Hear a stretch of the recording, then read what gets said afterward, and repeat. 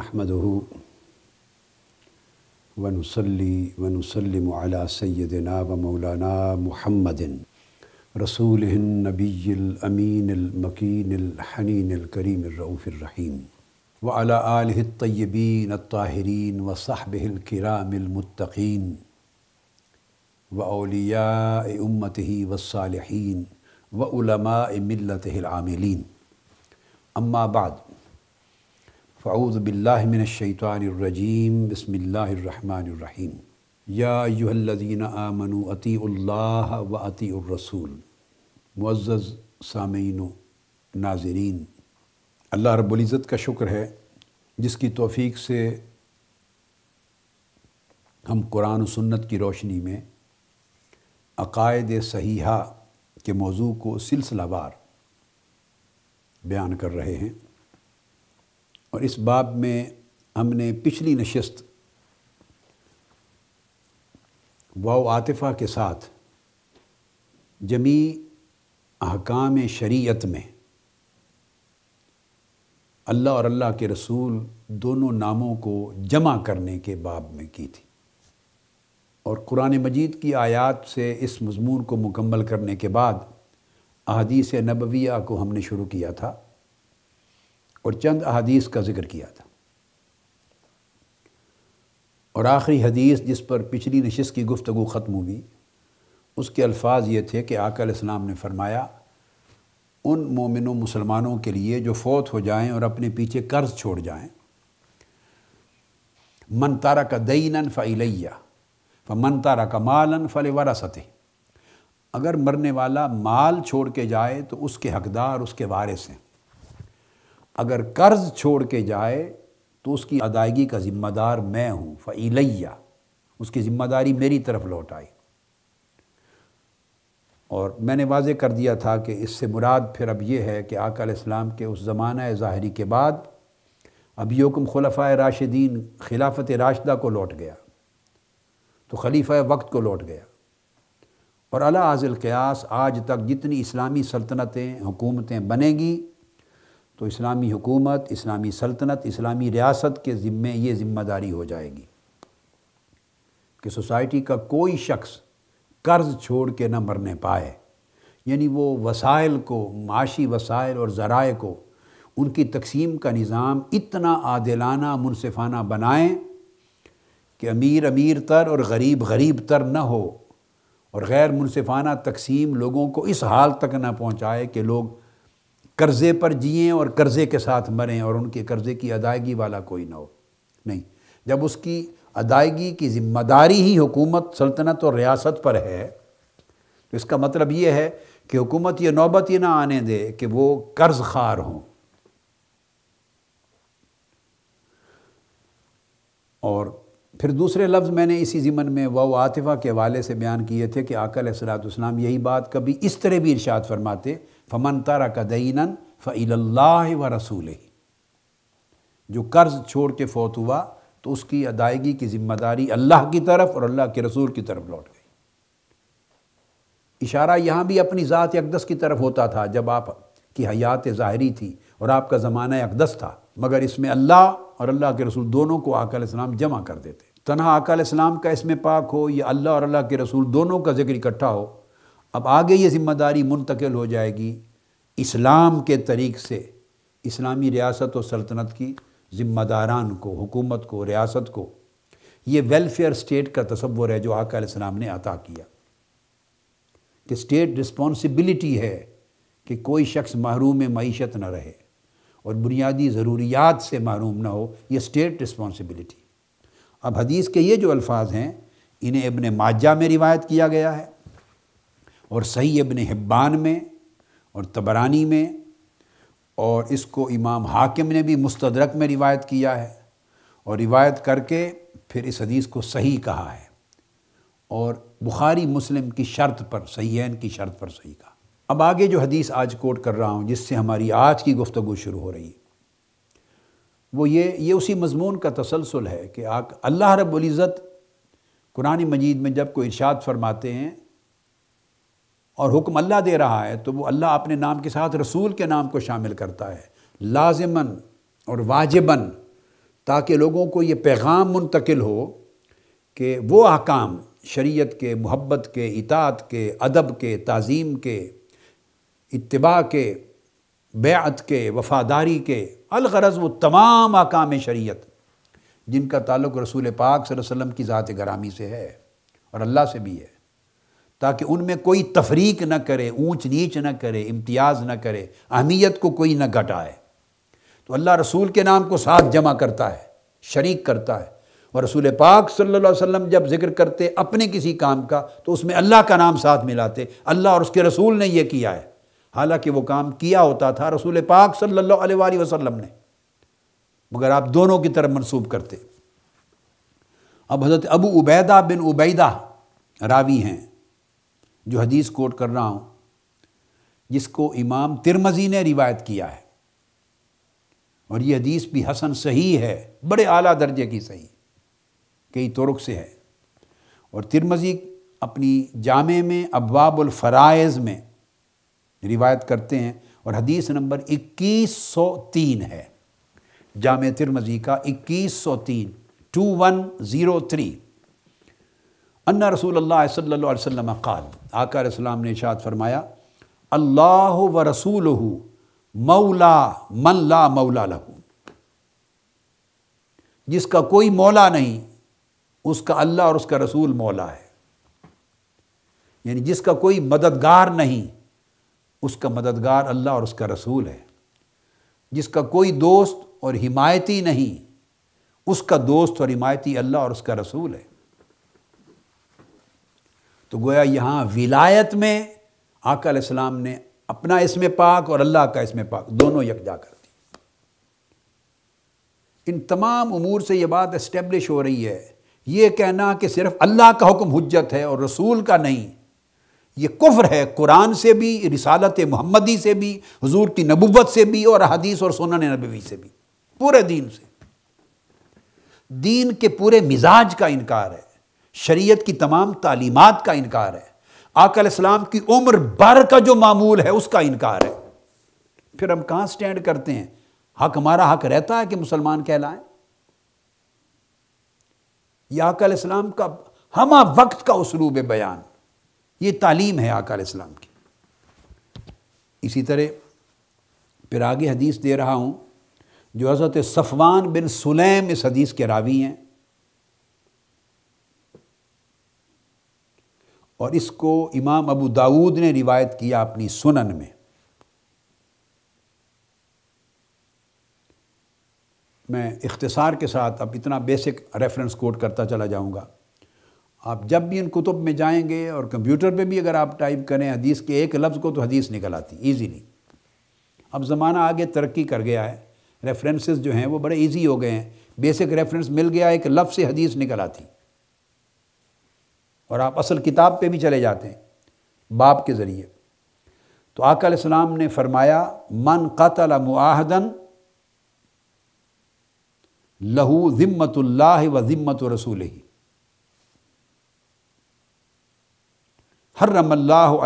हल जन्ना अब कत्ल किया एक मुआहिद को जो ज़िम्मी है, गैर मुस्लिम था और जिसकी जान की अमान दी थी इस्लामिक गवर्नमेंट ने, इस्लामी सल्तनत ने, कॉन्स्टिट्यूशन ने, आइन ने। और वो एक इस्लामी रियासत में एक बराबर दर्जे के शहरी की हैसियत मिल गई थी, जान व माल, इज़्ज़त व आबरू के तहफ़ में, बेसिक फंडामेंटल ह्यूमन राइट्स में। तो पहले ज़माने इसके लिए टर्म यूज़ करती थी, कभी ज़िम्मी की यूज़ करते थे, कभी मुआहद की। फरमाया, वो शख्स जो माहदा अमन में था यानी कॉन्स्टिट्यूशन और इस्लामिक स्टेट ने उसके साथ माहदा कर दिया था, ये फतूहत होती थी।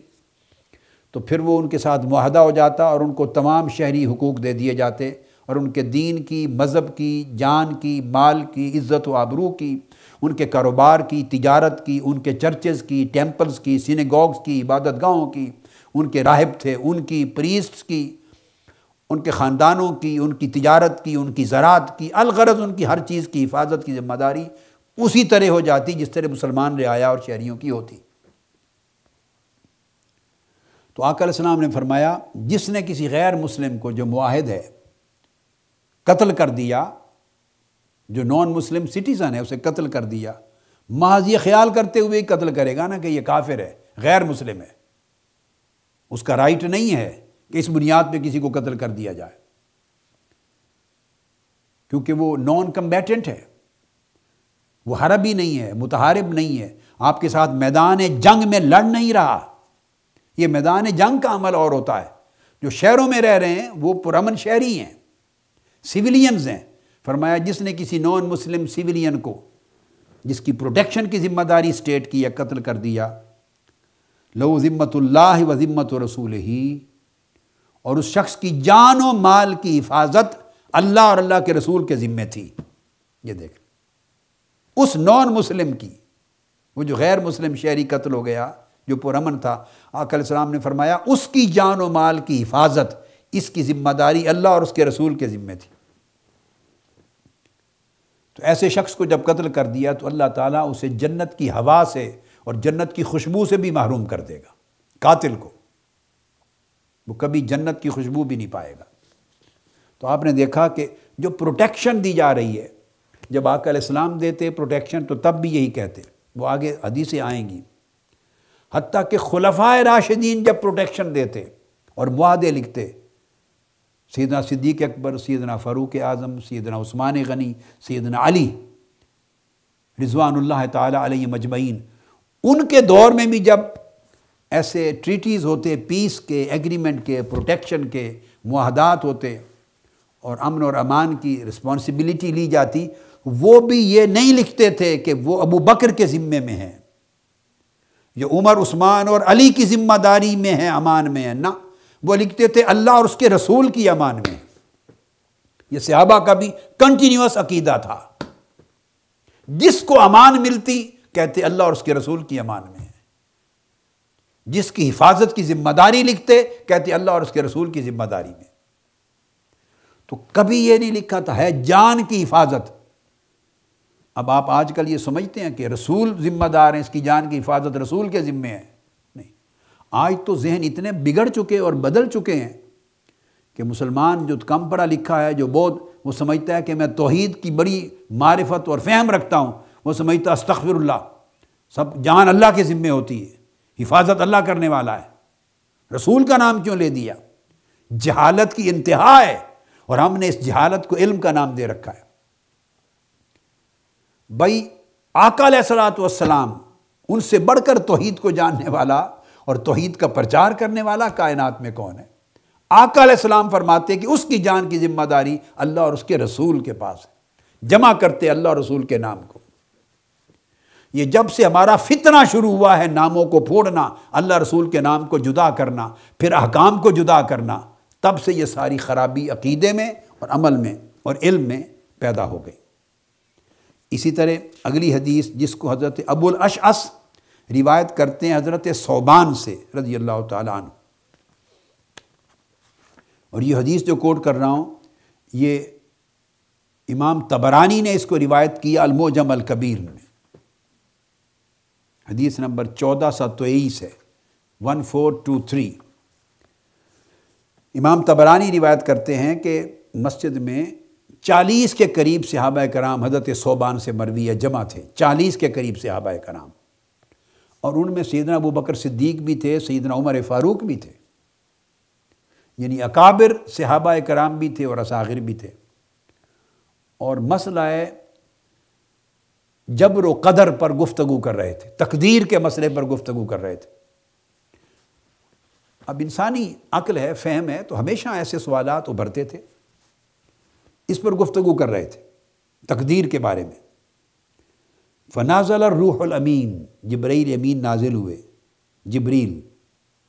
फ़काल, या मोहम्मद सल्लल्लाहु अलैहि वसल्लम, आका अंदर अपने हजर मुबारक में थे, अपने दौलत खाने में घर के अंदर तशरीफ़ फरमा थे सीदरा जबरील अमीन हाजिर हुए, वहाँ अर्ज़ या रसूल अल्लाह अलैहि वसल्लम, या मोहम्मद खुरुज अला उम्मतिक। आपके उम्मती यानी सहाबा बाहर बैठे, गुफ्तगु कर रहे हैं, एक बड़ी नई बहस छेड़ दी है उन्होंने। और जाके देखें और उनको मना करें। ये बहस उन्हें, जो अक्ल और फ़हम की हदें हैं, अगर उम्मत में ये बहसें शुरू हुई तो हदों को क्रॉस कर देंगे। तो बहसों की हद मुकर की है दीन में कि जिसकी समझने की कामिल सलाहियत ना हो, उस लिमिट को क्रॉस ना किया जाए एक्सीड ना किया जाए। तो आकल सलाम निकले फ़कत अहदसू फ़ाराज अलम फ़ीसा एक नई बहस, एक नया मसला उन्होंने छेड़ दिया है और ये उनके हक में नुकसान दे। तो ऐसा वक्त था, फरमाया, कि उस वक्त आका सलाम बाहर तशरीफ़ नहीं लाया करते थे। फ़ारज अलैम फ़ीसा लम यकुन यखरुज अलैम फ़ीहा। वो ऐसे टाइम में वो बैठे, बहस कर रहे थे, उस वक्त आका सलाम का मामूल नहीं था बाहर तशरीफ़ लाना। तो सीधना जब्राईल अमीन की दरख्वास्त पर आका सलाम फ़ौर तशरीफ़ ले आए। फ़ौर तशरीफ़ लाए। फ़नाहदू इला रसूल वसल्लम हासरीन। अदरहम तर अद अकुफ़ आका सलाम जब बाहर तशरीफ़ लाए तो सारे संभल गए, सरापा अदब बन गए, झुक गए आका सलाम की बारगाह में, खामोश हो गए मुतवजह हो गए, खौफजदा हो गए। आका सलाम को देख कर आपके चेहरे मुबारक का रंग देख कर आपने मना फरमाया, पूछा, क्या बहस कर रहे हो? इन हदों से आगे ना बढ़ो। वो सरापा अदब बन गए और खौफजदा हो गए। और आका सलाम का मंशा पा करके आपने नापसंद किया इस बहस को। तो फरमाने लगे, फ़कालू अर्ज़ करने लगे, तुबना इल्ला व रसूल ही या रसुल्ला हम तोबा करते हैं अल्लाह की बारगाह में और अल्लाह के रसूल की बारगाह में। अब आप बताइए, आज का लफ्ज़ तोबा यूज़ होता है तो हम क्या कहते हैं? कोई आजकल, आज का ज़माना इतना दूर चला गया सहाबा कराम के उस पाकिज़ा अकीदे से। आज का दौर इतना नीचे गिर गया। सहाबा कराम और ताबेन अतबा ताबेन और सलफ़ सालहीन के उस पाकिज़ा रूहानी सही अकीदे से इतना फ़र्क आ गया कि आज कोई कहेगा ये कि मैं रसूल पाक की बारगाह में तोबा करता हूँ। ये हजूर इस्लाम की तरफ़ तायब होता हूँ। हजूर की तरफ़ रुजू करता हूँ। एक आम मौलवी सुन के कहेगा, लाहौल वाला, आपने शिरक की बात कर दी। हमने सारी हदें तोड़ दी हैं। समझ ही नहीं रही कि तोहीद कहाँ कहाँ तक है, शिरक कहाँ से शुरू होता है, क्या कहना शिरक है और क्या कहना शिरक नहीं है। हमें इन हदों को समझने की ज़रूरत है। तोहीद की हदें क्या हैं? भाई शिर की हदें क्या हैं? और क्या क्या कलाम करना अल्लाह अल्लाह के रसूल दोनों के लिए बदस्तूर तोहीद में रहता है और वही हकीकत तोहीद है और असल तोहीद है। तो सहाबा कराम झुक के आकल इस्लाम की बारगाह में झुक कर मुद्दब सरापा अदब होकर अर्ज़ करने लगे, तुबना व रसूल। हम अल्लाह और अल्लाह के रसूल की बारगाह में तायब होते हैं। तो इस्लाम ने उन्हें नहीं फरमाया माजल्ला क्या कह रहे हो? तोबा सिर्फ़ अल्लाह की बारगाह में की जाती है। मेरी तरफ़ नहीं, मगर नहीं। वो मालूम है कि ये उसलूब था कि अगर इस्लाम से माफ़ी मांगनी है तो वही माफ़ी अल्लाह से मांगी जा रही है। और अल्लाह से माफ़ी मांगनी है तो वह रसूल पाक का नाम साथ इस्तेमाल हो रहा है। ये वो आतिफा के ज़रिए हकाम में जमा किया जाता इसी तरह अब एक और हदीस है, हुजूर सल्लल्लाहु अलैहि वसल्लम का इरशाद गरामी। और इस हदीस को रिवायत की हज़रत आयशा सदीक़ा रज़ी अल्लाह तहा ने। और अब जो हदीस कोट कर रहा हूँ, इसे इमाम बुखारी ने सही बुखारी में तखरीज की। किताबुलबयू में और इस हदीस का नंबर सही बुखारी में उन्नीस सौ निन्यानवे है। वन नाइन नाइन नाइन उम्मिन हज़रत आयशा सदीक़ा रज़ी अल्लाह तहा उनका वाक़ है। वो कोई जैसे पर्दे लटकाते हैं घर में तो ऐसा कोई ले आई जिसके ऊपर कुछ तस्वीर बनी हुई थी, उसको लटका दिया, हैंग कर दिया। आका सलाम बाहर थे। आप तशरीफ़ लाए, आपकी निगाह पड़ी। और वो तस्वीर ये मैं इस बहस में इस वक्त नहीं पढ़ रहा, वो अलग सब्जेक्ट है। किस तरह की थी? कशीदा थी, उभरी हुई थी, क्या थी? फ़लम आहा रसूल मकाम अलबाब फ़लम यद खुल फ़रफ़ तो फ़ी वजह कराहिया। उम्मिन हज़रत आयशा सदीक़ा रज़ी अल्लाह ताली फरमा रही हैं कि उसको देख कर उसके अंदर वो तस्वीर जो कुंदा थी वो देख कर आकल इस्लाम हजरा मुबारक में दाखिल न हुए, दरवाज़े पर खड़े हो गए। और मैंने आपके चेहरे अकदस की तरफ़ तका, देखा कि उसके ऊपर नापसंदीदगी के आसार हैं। बस। ये देख कर तो फौरी आगे बढ़ी, फ़कुल तो या रसूल, ये सही बुखारी की हदीस है। और अमल सैदा फ़ातिमत सैदा आयशा सदीक़ा रज़ी अल्लाह तला का। और उनका कौल, और उनका अकीदा उम्मिन हज़रत आयशा रज़ी अल्लाह तला का अकीदा है मैंने अर्ज़ किया या रसूल अतूब रसूल माजा अजनब तो जो मुझसे ख़ता हुई है, मैं इसकी तोबा अल्लाह की बारगाह में करती हूँ और अल्लाह के रसूल की बारगाह में करती हूँ। इस हदीस को इमाम बुखारी ने रिवायत किया है। और ये तोबा कर रही हैं अल्लाह और अल्लाह के रसूल की बारगाह में। उम्मिन हज़रत आयशा सदीक़ा रज़ी अल्लाह ताला अब आप देख लीजिए। न उन्हें यह ख्याल आया कि तोबा तो सिर्फ़ अल्लाह की बारगाह में होनी चाहिए। रसूल की बारगाह में क्यों? और ना आका इस्लाम ने मना किया कि आयशा, नहीं, अल्लाह की बारगाह में तोबा करो, मेरी बारगाह में क्यों? नहीं। ये बारगाहें हमने जुदा की हैं। उम्मिनी हज़रत आयशा सदीक़ा ने जुदा नहीं की थी। सीदना अबू बकर सीदना उमर, उस्मान अली ने जुदा नहीं की थी। सहाबा कराम ने जुदा नहीं की थी। आका इस्लाम ने जुदा नहीं की थी। ख़ुद रब कायनात ने जुदा नहीं की थी। न कुरान ने जुदा की थी, ना अल्लाह के रसूल की हदीस व सुन्नत ने जुदा की थी। इससे बढ़ के और सबूत क्या चाहिए हमें? अर्ज़ करती है, या रसूल अतूब व इला रसूल ही मैं अल्लाह की तरफ़ और अल्लाह के रसूल की तरफ़ तायब होती हूँ, तोबा करती इसी तरह आका सलाम का वो मरूफ मुआहदा है जो अहल नजरान के साथ आपने किया था। Treaty of peace and protection जो अहल नजरान, जो मसीही थे, उनकी हिफाजत का ज़िम्मेदारी ली थी, एक माहदा किया था। इसको इमाम अबू उबैद कासिम बिन सलाम ने किताबुलमवाल में बयान किया। और अलावा उनके इमाम तबरी ने, इबन साद ने, और बहुत सारे इमाम अबू यूसुफ ने, बहुत सारे मुहदसिन मर्रक़ीन, आइमा ने इसको रिवायत किया। और कुतुब हदीस में भी और कुतुब तारीख़ व सैर में भी, अहल नजरान के साथ। और हजूर सलाम ने जो माहदा लिखवाया, अपने सामने जो लिखवाया, तहरीर दिया और एक ऑफिशियल डॉक्यूमेंट बना के उनके सपुर्द किया, उसमें लफ्ज़ थे, वले नजराना व हाशियतहा ज़िम्मतुल्लाह व ज़िम्मत रसूल ही अला दिमाहिम व अमवालहम। और आगे एक तवील फहरिस्त है। ये अहल नजरान, उनकी पूरी कौम को उनके तमाम तबक़ात को, उनके हाजरीन को, उनके गायबीन को,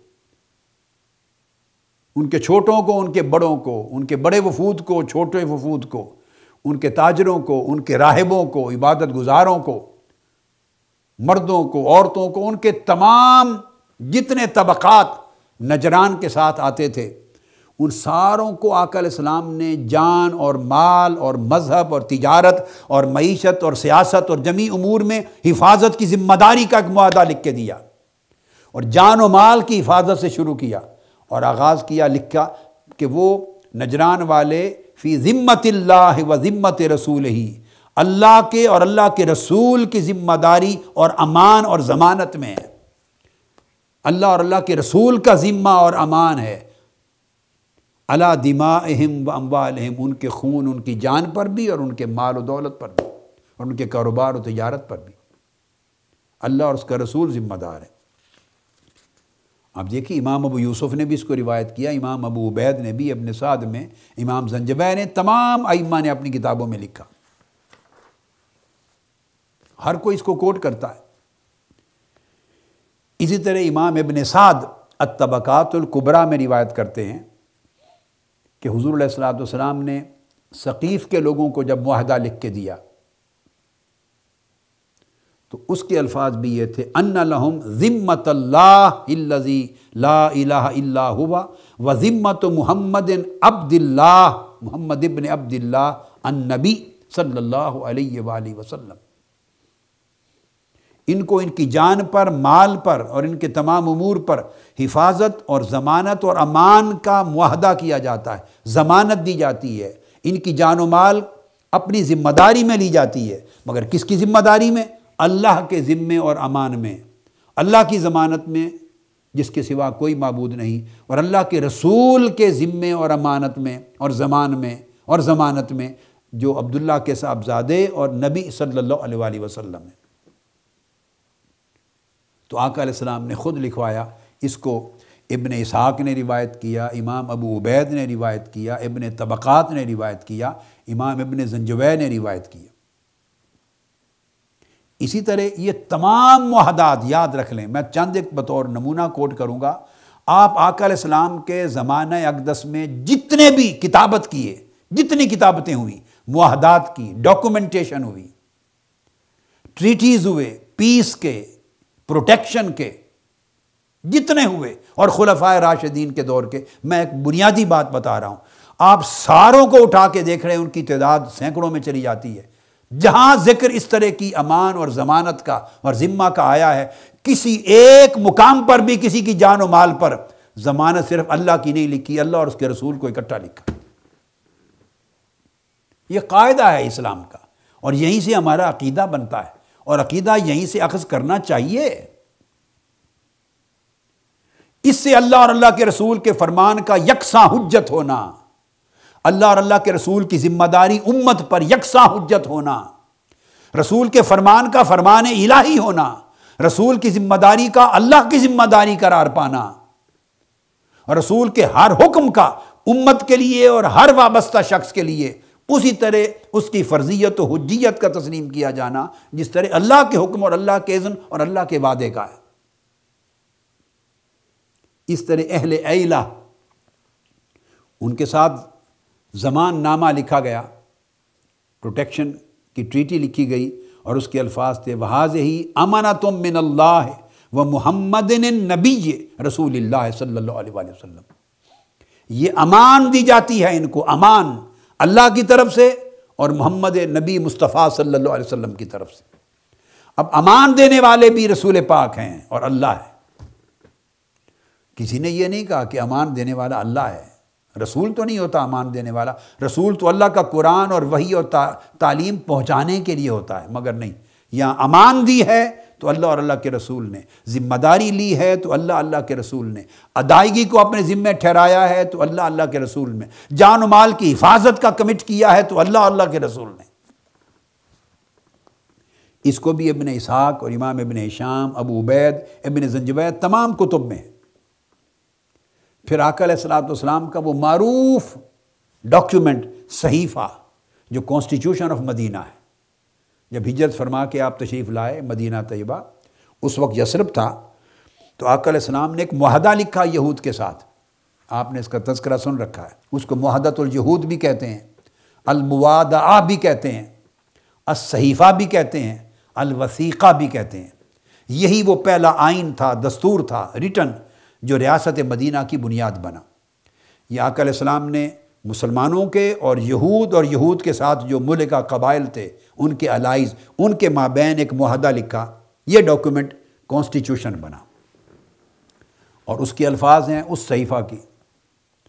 उसमें लिखा वनी जारुन लिमन बर्र वत्तका व मोहम्मद रसूल अलैहि वसल्लम। और ये कई और मुकाम पर अगर आप सहीफ़ा की स्टडी करें, मेरी किताब है इसके ऊपर पूरी तो तिरसठ आर्टिकल्स में मैंने लिखा है।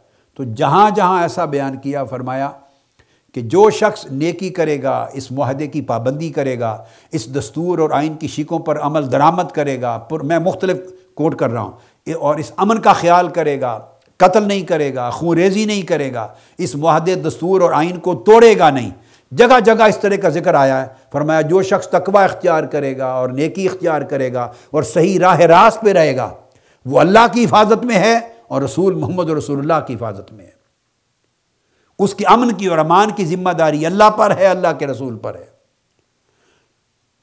जगह जगह उसके अंदर आका सलाम ने यह ज़िम्मेदारी अल्लाह और अल्लाह के रसूल के लिए, और यहाँ ये जो मैंने शेख कोट की, वहाँ फ़कत मोहम्मद रसूलुल्लाह का ज़िक्र कर दी कि उसकी जान और माल की हिफाजत और उसकी अमान की ज़िम्मेदारी मोहम्मद रसूलुल्लाह सल्लल्लाहु अलैहि वसल्लम पर है।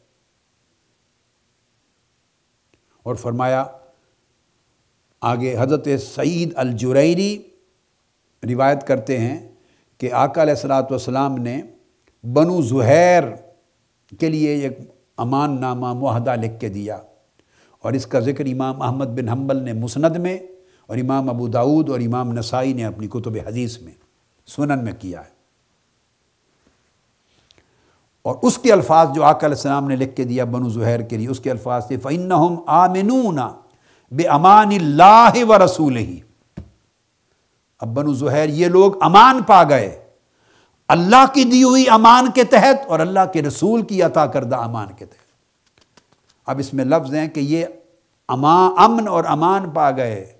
इनकी जान माल को अमान मिल गई। और अमान किसने दी? बे अमान व रसूल ही अल्लाह की अमान में और रसूल की अमान में। अब आप बच्चे भी रवाना होते हैं, कहीं सफ़र पे जाते हैं या कभी हर पे लड़ाई पर कोई मामला होता है, अमान का जहाँ ज़िक्र आता है तो हम हमेशा कहते हैं, फ़ी अमान अल्लाह कहते हैं कि नहीं? आम अल्फाज। सफ़र पे जाते, रुखसत होते, जुदा होते अच्छा फ़ी अमान अल्लाह अल्लाह की अमान में। हमारी आदत है, बेशक।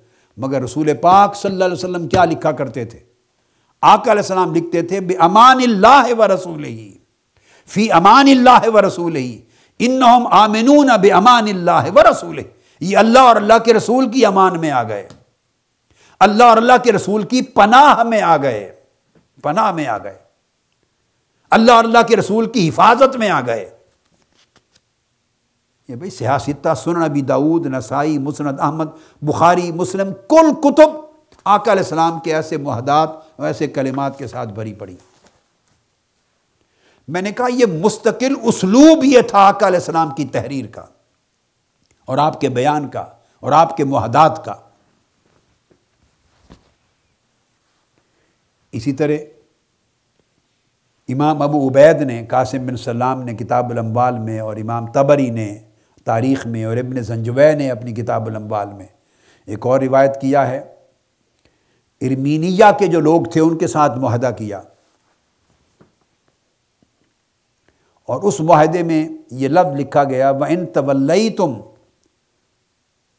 आज़ोनुकुम बिहर मिन अल्लाह व रसूल ही और फिर ये कुरान मजीद में भी ज़िक्र आया है, सूद के बारे में कि अल्लाह और अल्लाह के रसूल के साथ ऐलान जंग। यहाँ भी ये है कि अगर तुम फिर गए इस महद अमन से, इस तयशुदा महदे को की मुखालफत कर दी, तोड़ डाला तो फिर मैं तुम्हें हुक्म देता हूँ, तुम्हें आगाह करता हूँ कि तुम अल्लाह और अल्लाह के रसूल के साथ जंग होगी। इस महदे की पासदारी न की, इसको तोड़ा तो अल्लाह और अल्लाह के रसूल के साथ जंग को दावत दोगे। तो यहाँ जंग का अमन का मामला, तब भी अल्लाह और अल्लाह का रसूल। अमान का मामला, तब भी अल्लाह अल्लाह का रसूल। जान माल की पनाह का मामला, तब भी अल्लाह अल्लाह के रसूल की पनाह में। और जंग करने का मामला, मुहारबत, तब भी अल्लाह अल्लाह के रसूल। यू हारिबून अल्लाह व रसूल कुरान मजीद का भी उसरूब ये था। ये लोग जो मुहारबत करते हैं, अल्लाह और अल्लाह के रसूल के साथ जंग करते हैं डाका जनी करने वालों के लिए फरमाया। सूद खोरों के लिए और डाका जनी करने वालों के लिए। उनके लिए भी फरमाया, जो दहशत गर्दी करते हैं डाका जनी करते हैं कत्ल गारत गरी करते हैं और हरासा करते हैं सोसाइटीज़ को सिविलियन पॉपुलेशन को, फरमाया, युहारिबून अल्लाह व रसूल अल्लाह और अल्लाह के रसूल के खिलाफ ऐलान जंग करते हैं और मुहारबत करते हैं। यानी हुक्म इलाही को तोड़ा जा रहा है। मुखालफत हुक्म इलाही की हो रही है, बगावत हुक्म इलाही के ख़िलाफ़ हो रहा है, मगर वहाँ अल्लाह ने रसूल का नाम अपने नाम के साथ जोड़ा है। यू हारिबून अल्लाह व रसूल अल्लाह अल्लाह के रसूल ने जिस चीज़ को हराम करार दिया है, उसको हराम समझते हैं। और जिसको अल्लाह अल्लाह के रसूल ने हराम करार दिया, उसे हराम नहीं समझते। यानी इस तरह हराम करने के ज़िक्र पे भी कुरान में अल्लाह रसूल के हुक्म को जमा किया। और सहाबा कराम का अपना तरीक़ेकार भी इसी तरह का था। जब भी आकल सलाम कोई चीज़ सहाब कराम से पूछते, अब एक और हदीस है जो सही बुखारी की बल्कि एक और हदीस जिसे इमाम औज़ाई ने अता बिन नबी रबा से रिवायत की। और ये हज़रत उम्मिन आयशा सदीक़ा रज़ी अल्लाह तहा के हवाले से आके हिजरत का पूछा। तो आपने इर्शाद फरमाया, हज़रत उम्मिन आयशा सदीक़ा रज़ी अल्लाह तहा ने, वो फरमाते हैं, अता बिन नबी रबा के मैं हज़रत उबैद बिन उमैर के साथ निकला। और उमिन हज़रत आयशा सदीक़ा रज़ी अल्लाह तारा की खिदमत में गए। और हज़रत उबैद बिन उमैर ने हिजरत के बारे में उमुलमिन हज़रत आयशा सदीक़ा रज़ी अल्लाह ताली से दरियाफ़्त किया। कि अब भी हिजरत है? आपने जवाब भी फरमाया, ला हिजरत अलयौम इन नमल हिजरत कानत व इला रसूल ही क्या अब भी हिजरत है? वो हिजरत जो मक्का से मदीना की तरफ़ हुई, उस हिजरत की बात हो रही है। तो आपने फरमाया कि नहीं, अब वो हिजरत फ़र्ज़ नहीं है। हिजरत इन नमल हिजरा। हिजरत क्या थी? कानत इल्लाह व इला रसूल वो सिर्फ़ अल्लाह और अल्लाह के रसूल की तरफ़ थी। अब हिजरत एक अमल है, जिसके ऊपर सिद के नीयत पर कायम है। अल्लाह के हुक्म की तामील के लिए कायम है। अल्लाह के लिए सफ़र करना है। तर्क वतन करना है। अल्लाह की रज़ा के लिए। मगर उस हिजरत को भी अल्लाह और अल्लाह के रसूल के साथ जोड़ दिया है। उम्मिन हज़रत आयशा सदीक़ा रज़ी अल्लाह ताली और ये कलिमात भी सही बुखारी की हदीस के हैं। सही बुखारी किताबुलमनाकिब बाब हिजरत नबी अलैहि वसल्लम। और हदीस का नंबर है छत्तीस सौ सतासी, थ्री सिक्स एट सेवन। इन नमल हिजरत कानत इल्लाह व इला रसूल ही आप देख लीजिए। हिजरत तो सिर्फ़ अल्लाह और अल्लाह के रसूल की तरफ़ होती थी। इसी तरह कुरान में, कुरान मजीद और हदीस में ये कलिमात भी आते हैं। मैं यखरुज मिम बैत ही मुहाजरन व रसूल जो शख्स अल्लाह और अल्लाह के रसूल की तरफ़ हिजरत करने की नीयत के साथ घर से निकला, आप देख लीजिए। भाई बात, इतनी बात से भी तो मुकम्मल हो सकती थी। मैं यखरुज मिन बैत ही मुहाजरन जो अल्लाह की तरफ़ हिजरत की नीयत के साथ निकला मतलब हुक्म इलाही की तामील में अपने दीन और ईमान के हिफाजत करने के लिए, कुफार के मजालिम से ताकि दीन को फितना और आजमाइश और ख़तरा लायक न हो, दीन बचाने के लिए, इस्लाम को नाफिज करने के लिए, नई सरजमीन के लिए, ये सब कुछ हुक्म इलाही है। नीयत का रुख भी अल्लाह की तरफ़ है, इबादत का अमल है। तो बात यूँ भी हो सकती थी, जो अपने घर से निकले, ये नीयत करके कि मैं अल्लाह के हुक्म की तरफ़, अल्लाह की तरफ़, उसकी रजा की तरफ़, उसके दीन के लिए हिजरत कर रहा हूँ। मगर नहीं। कुरान ने भी ये उसलूब इख्तियार नहीं किया कि तनहा हिजरत इल्लाह कह दिया हो। ना। फरमाया, मुहाजरन इल्लाह व रसूल ही जो अल्लाह और अल्लाह के रसूल की तरफ़ हिजरत करता हुआ निकले। और सही बुखारी की जो हदीस है और सही मुस्लिम में, हदीस नीयत, जहाँ से इब्तदा होती है बुखारी मुस्लिम की, और हदीस हिजरत है, उसमें भी आका सलाम ने इशाद फरमाया और उसमें भी यही फरमाया कि जो अल्लाह और अल्लाह के रसूल की तरफ़ हिजरत करता है, बस उसकी हिजरत अल्लाह और अल्लाह के रसूल की तरफ़ होगी। मन हाजरा इल्लाह व रसूल ही तो हिजरत हो इल्लाह व रसूल जिसने अल्लाह और अल्लाह के रसूल की तरफ़ हिजरत की, उसे अल्लाह और अल्लाह के रसूल ही की तरफ़ हिजरत करने का अजर मिलेगा। और जिसने दुनिया की तरफ़ हिजरत की, वो दुनिया का अजर पाएगा। तो आप देखिए, कुरान हो या हदीस नबवी, बुखारी हो या मुस्लिम, या जहाँ भी ले लें आयात कुरानी, हिजरत जैसे अमाल भी अल्लाह और अल्लाह के रसूल की तरफ़। फिर यही तरीका सहाबा कराम के अमल का रहा। जब भी आकल इस्लाम उनसे कोई चीज़ पूछते, उसका तलुक ईमान बिल्ला से होता, ईमान बिलकदर से होता, शहर मक्का से होता, काबा की तयन से होता, शह और हाज के महीने के साथ होता और इस तरह कई मसाइल आते, ये कौन आया था मिलने? जबरील अमीन आए, पूछते, ये कौन था? दीन का ये मसला क्या है? फलां हकूक़ कैसे हैं? अमल कौन सा बेहतर है? जो चीज़ आकाम पूछते। सहाब कराम ने कभी ज़िंदगी में ये नहीं कहा, ये बात सुन लें। ज़िंदगी में ये कलेमा कभी नहीं कहा। वल्लाह आलम। हम ये कहते हैं, अल्लाह आलम बिसवाब अल्लाह बेहतर जानता है। यह वल्लाह आलम और अल्लाह ही बेहतर जानता है। हम ये कहते हैं, सहाबा कराम ये नहीं कहते थे। बोलिए, हमारा कहना दुरुस्त है या सहाबा कराम का कहना दुरुस्त है? हमारे अंदर खुदाजा ने ये चीज़ कब से रिवाज पा गई कि रसूल का नाम हमने अलग कर दिया। ये एक फितना है। हमने तोहीद और इसालत के ताल्लुक को नहीं जाना। कुरान और सुन्नत के ताल्लुक को नहीं जाना, अल्लाह और उसके रसूल के ताल्लुक, नागुजीर ताल्लुक को नहीं जाना। और हर जगह वाव आतिफा के साथ अल्लाह ने रसूल का नाम जो अपने साथ जोड़ा है, और रसूल ने हमेशा अपने नाम के साथ अल्लाह का नाम जोड़ा है, इसकी हिकमत और अहमियत को नहीं समझा। इसने हमारे अकीदे में बुनियादी खराबियाँ पैदा कर दी हैं। सहाबा कराम कभी नहीं कहते थे, मैं ज़ोर दे के कह रहा हूँ कि अल्लाह बेहतर जानता है। हम कहते हैं ये हम सहाबा कराम से ज़्यादा बड़े तोहीद वाले आ गए, ज़्यादा बड़े मोहिद और मोमिन हो गए। नहीं, सहाबा कराम से जब पूछा, सही बुखारी को ले, किताबुल ईमान, हदीस नंबर तिरपन है, फिफ्टी थ्री, उठा के देख लीजिए। आकर सलाम ने पूछा, अतदरून अमल ईमान बिल्ला वहदा? अल्लाह की तोहहीद पर ईमान लाना क्या है? जानते हो? वो कह सकते थे ना, वल्लाह आलम, अल्लाह बेहतर जानता है। मगर नहीं, कालू अल्लाह व रसूल आलम, अल्लाह और उसका रसूल बेहतर जानता है। फिर अगेन, बुखारी शरीफ की हदीस है, किताबुल अजान, और हदीस नंबर 810 बाब कायम किया इमाम बुखारी में, जब इमाम सलाम फेर ले तो नमाजियों की तरफ़ मुँह करने का बाब है। हज़रत जैद बिन खालिद अल जुहन्नी रज़ी अल्लाह तरावी हुदैबिया में नमाज़ फ़जर का वक्त, उसके बाद का वाक़ है। नमाज़ के बाद आकाम ने चेहरा अक्तस फेरा सहाबा कराम की तरफ़, और पूछा, फ़काल हल तदरून माजा काल रबुकुम सहाबा कराम से पूछा, क्या जानते हो कि आज रात, जो रात गुजरी है, तुम्हारे रब ने क्या फरमाया है? कालू अल्लाह व रसूल आलम। अल्लाह और उसका रसूल ही बेहतर जानता है। नहीं कहा कि अल्लाह आलम। अल्लाह बेहतर जानता है नहीं। अल्लाह व रसूल आलम। हज़रत मुआज रज़ी अल्लाह तु रावी हैं। और ये हदीस भी कोट कर रहा हूँ, ये भी सही बुखारी की है। किताबुल जिहाद व सैर और हदीस का नंबर है सताईस सौ एक टू सेवन ज़ीरो वन उसमें भी आकर सलाम के साथ सवारी पे पीछे बैठे थे। आकर सलाम ने पूछा, मा हक को रिबाद अल्लाह ए मुआज, तुम जानते हो कि बंदों का अल्लाह पर क्या हक है? कुल तो अल्लाह व रसूल आलम। मैंने अर्ज़ किया, या रसूल, अल्लाह और अल्लाह का रसूल ही बेहतर जानते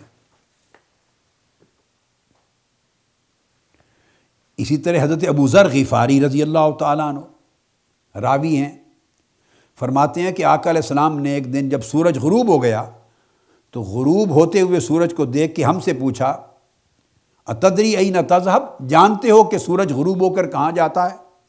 कुल तो अल्लाह व रसूल आलम। हमने कहा, अल्लाह अल्लाह का रसूल बेहतर जानता है। चलो कोई तो ये कह सकता है कि पहली चीज़ें उनका ताल्लुक दीन के साथ था। दीनी उमूर के साथ था, दीनी आकाम के साथ था। तो दीनी आकाम तो अल्लाह तो जानता ही है कि उसने भेजे और रसूल भी जानता है कि रसूल के ज़रिए हम तक पहुँचे। मगर अब ये जो बात आ रही है, इसका ताल्लुक तो साइंस के साथ है, कायनाती निज़ाम के साथ है। गरूब के बाद सूरज कहाँ जाता है? ये तो कुरान मजीद में कहीं नहीं लिखा। ये तो कुरान मजीद में नहीं है। ये हकाम शरिया में से नहीं है, ये वक़ाए कायनात में से है, कायनाती वाक़ात में से है। इस निज़ाम आलम के साथ इसका ताल्लुक है।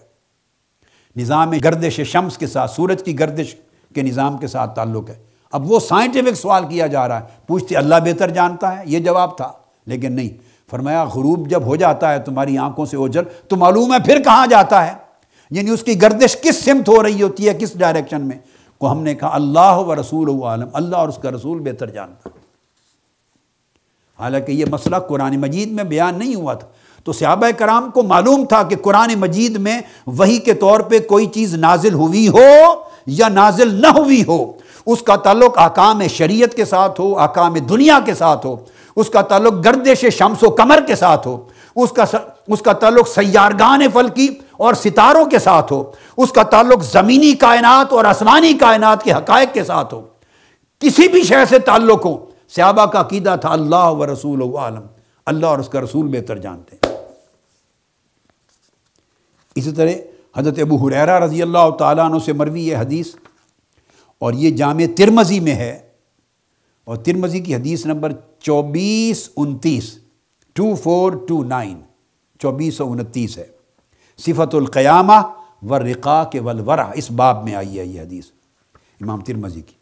तो उसके अंदर अल्फाज हैं, अबू हुरैरा रज़ी अल्लाह तु वो जो योम दिन तो हदस अखबार रहा ये जो कुरान मजीद की सूरा, जिलजाल की आयत नंबर चार है, जिलजाल। इसके बारे में पूछा, ये क्या होगा? काल अतदरून अमा अखबार इससे मुराद क्या है? कालू अल्लाह व रसूल आलम, अल्लाह और उसके रसूल ही बेहतर जानते हैं। हज़रत अब्दुल्ला बिन बुरैदा रिवायत करते हैं रज़ी अल्लाह तु ये भी जाम तिरमजी की हदीस है। हदीस नंबर अट्ठाईस सौ सत्तर है। Two eight seven zero. अब वाबुल अमसाल के अंदर ये हदीस आई है। तो आकल इस्लाम ने किसी मिसाल के हवाले से फरमाया गुफ्तु ख़त्म कर रहा हूँ, चूँकि टाइम शॉर्ट है। हल तदरून मा हाजही वमा हाजही? ये क्या है? ये क्या है? मुख्तलि मिसालें बयान की और फरमाया, जानते हो ये क्या है? कालू अल्लाह व रसूल आलम। अल्लाह और उसका रसूल बेहतर जानते हैं। मकसद बात का ये था कि कुरान मजीद की, पूरे कुरान मजीद की तालीम यह है कि अल्लाह व रसूल हो जहाँ ज़िक्र है, अल्लाह उसके रसूल को जोड़ा है। हदीस नबवी, सुन्नत नबवी, मामूल नबुवत और मामूल सहाबा, उम्र भर का ये, और उनका अकीदा ये है कि जब कोई चीज़ पूछी जाती, बताते, अमान देते, तहरीर करते मुहदा होता। हमेशा अल्लाह अल्लाह के रसूल के नाम को इकट्ठा करते। गोया, इस्लाम के अकीदे की बुनियाद ये थी कि अल्लाह और अल्लाह के रसूल दोनों की शान और दोनों के फरमान की हज्जियत यकसा है। और हम सरासर नाजायज़ करेंगे दीन हक का और कुरान हदीस का और सहाबा कराम के तरीक़ा और अकीदा का इनकार करेंगे। अगर हम रसूल के हुक्म को और रसूल के फरमान को और रसूल के इरशाद ग्रामी को अल्लाह के इरशाद ग्रामी से अलग ठहरा कर इसकी हज्जियत का इनकार करें और सिर्फ़ अल्लाह के फरमान और कुरान को हज्जत माने, ये पूरे दीन इस्लाम की नफ़ी हो जाएगी। चूँकि एक हदीस का हुज्जत होना तो एक मौजू है, यहाँ तो कितने उमूर में अल्लाह रब्ज़त ने दीन और दुनिया के तमाम अमूर में अल्लाह ने अपने और रसूल पाक के नाम को यकजा कर दिया, जमिया काम के अंदर यकजा कर दिया। हमें इनको अलग करने और इनको फोड़ कर किसी की अहमियत कम, किसी की ज़्यादा करने का अल्लाह और अल्लाह के रसूल ने हक नहीं दिया है। आज की गुफ्तु यहाँ पर ख़त्म करते हैं। अब इसके बाद इन ताला अगली नशस्त में हम इसी सब्जेक्ट के कुछ और एंगल्स हैं नए कुरान मजीद के हवाले से, उन पर बात शुरू करेंगे। वमा अलैना इल्लबला ऑफिशियल यूट्यूब चैनल को सब्सक्राइब करें और बेल आइकन क्लिक करें।